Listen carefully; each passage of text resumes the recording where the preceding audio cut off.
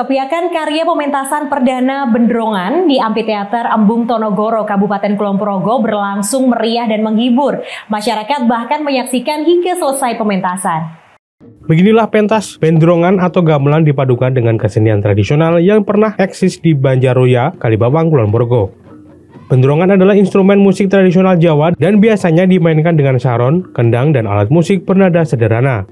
Musikalitas Jawa Gending Lancaran Bentrong yang berkolaborasi dengan alat musik lain menyajikan pentas menarik dengan tari Bugis Kembar.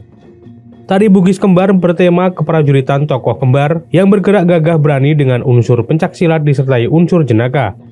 Selain melestarikan kesenian tradisional, pementasan untuk memberi pelayanan kepada wisatawan lokal serta wisatawan mancanegara. Dari berbagai gerakan tarian gagah namun jenaka ini, wisatawan dapat mengerti bahasa dan maksud dari tarian Bugis Kembar. Nada atau irama bendrong yang digunakan cukup sederhana sehingga wisatawan dapat ikut terlibat bermain musik atau ikut menari.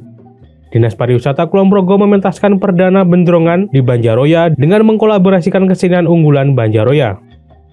Kesenian ini mendapat dukungan penuh dari dana keistimewaan DIY serta melibatkan dan mengelola muda-mudi untuk peluncuran bendrongan ini coba untuk mengelaborasi apa yang menjadi apa unggulannya sana ada satu kesenian namanya Bugis Kembar.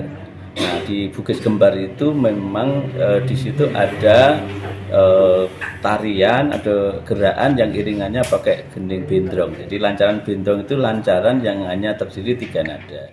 Selain mengangkat potensi dan menambah atraksi desa wisata Banjaroya, pentas bendrongan sekaligus untuk menggerakkan wisatawan di Banjaroya.